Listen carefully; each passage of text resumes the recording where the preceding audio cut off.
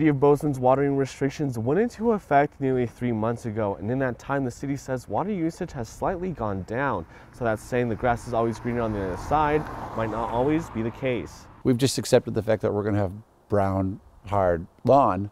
Bozeman resident Reno Walsh has a couple of brown and dry spots in his lawn, but he's okay with that. In fact, he says he uses hardly any city water to irrigate his lawn. Instead, he collects rainwater. Walsh could have used city water on Tuesdays, Thursdays, and Saturdays like other even numbered addresses in Bozeman. And using that to water our gardens and our trees. Since the watering restrictions started, the city has received 60 reports of people watering when they shouldn't be.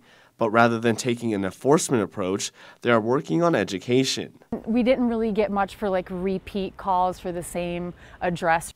With Bozeman watering restrictions, the city had one day where there was no residential watering. We have seen decreased water usage on Monday, which shows that a lot of residents are in compliance. So, how much did watering restrictions affect Bozeman residents? We're using 25 gallons less per person per day. Looking forward to the fall, water levels for the city at Hyalite Reservoir remain normal thanks to the wet spring. Um, it may look low, but it's actually above average for this time of year. As for Walsh, he says having the grass greener on the other side might not be the reality moving forward. The American dream to have a, a nice house with a green lawn, but I think that dream that perspective needs to change here in the West. As we head into the fall, Alstrom says it's a good time to slow down watering even more to get your lawn ready for winter.